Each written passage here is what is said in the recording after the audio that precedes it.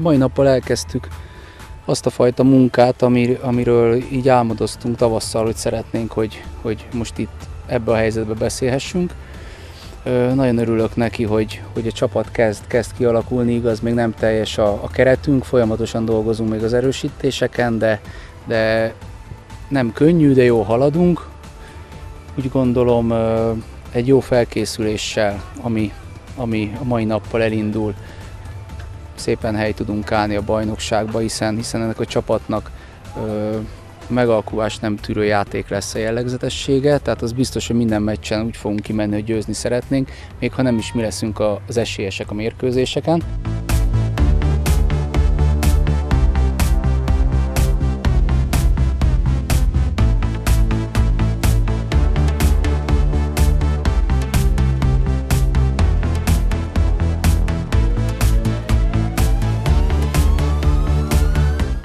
Július 16-án az MTK-hoz látogatunk felkészülési mérkőzésre, illetve 30-án a Puskás Akadémia ellen fogunk játszani Felcsuton.